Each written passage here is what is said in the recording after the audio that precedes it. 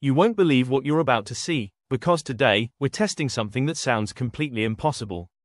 Can a bike really start with just one drop of fuel?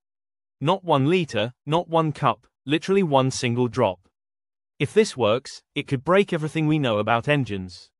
The experiment begins with a completely dry fuel tank, no petrol at all. The carburetor is empty, the lines are empty, and the bike hasn't been started for hours.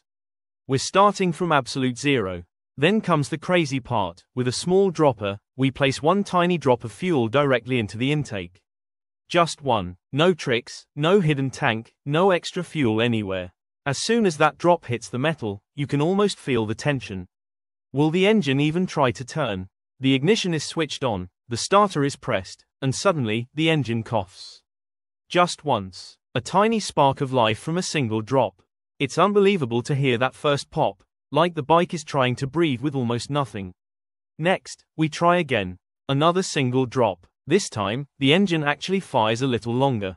It doesn't run fully, but the spark plug ignites the tiny vapors perfectly. The cylinder compresses, fires, and falls silent.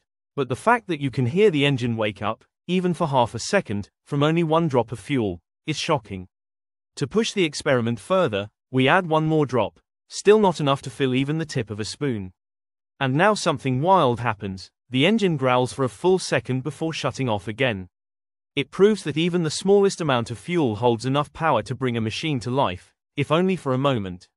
This experiment doesn't just show the efficiency of combustion, it shows the raw power of engineering. The idea that one drop of fuel can make a heavy machine roar, even if briefly, is mind blowing.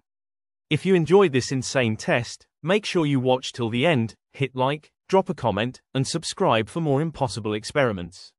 Your support means everything, and it helps me bring more unbelievable tests like this for you.